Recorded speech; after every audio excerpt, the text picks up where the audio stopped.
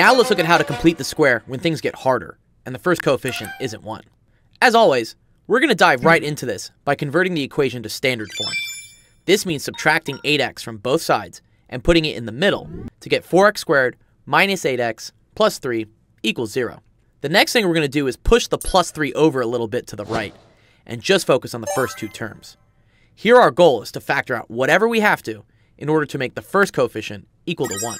In this case, that means pulling out 4, which we'll do for both terms to give us 4 on the outside times x squared minus 2x on the inside of some big parentheses. Now we know the drill for completing the square and work on the numbers inside the big parentheses.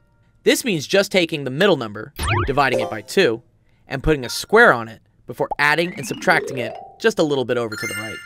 Warning, make sure when adding and subtracting, you're still doing it inside the big parentheses, and don't simplify the squaring just yet. If we focus on the first three terms, we can convert this into just two terms, all being squared. To do this, take the first thing that's being squared and either add or subtract it to the last thing that's being squared. Now package these two together under a smaller parentheses and make the whole thing squared. Keep in mind we still have the minus 1 squared chilling outside, but they're all inside the big parentheses. The next step is to simplify the 1 squared as just 1, and get rid of the big parentheses by distributing the 4 on the outside, inside to both things. In this case, the 4 will now stick to the front of the small parentheses, while also multiplying the minus 1 to get minus 4. With the big bad parentheses all gone, the minus 4 and plus 3 are now free to meet, which simplifies to minus 1.